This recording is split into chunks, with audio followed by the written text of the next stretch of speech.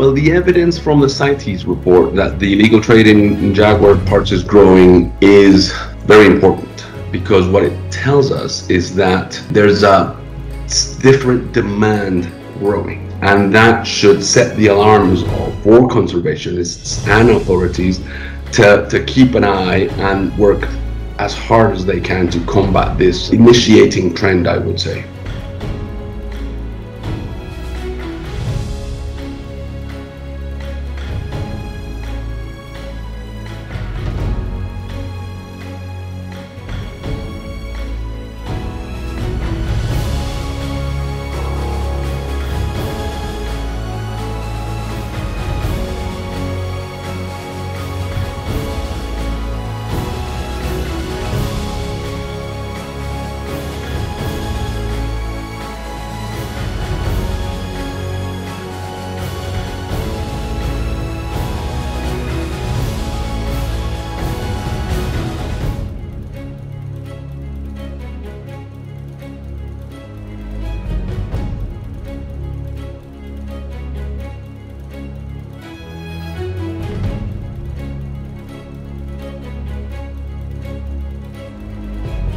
Currently, there is growing attention from authorities and conservationists on the growing demand from big cat parts, um, but this should continue.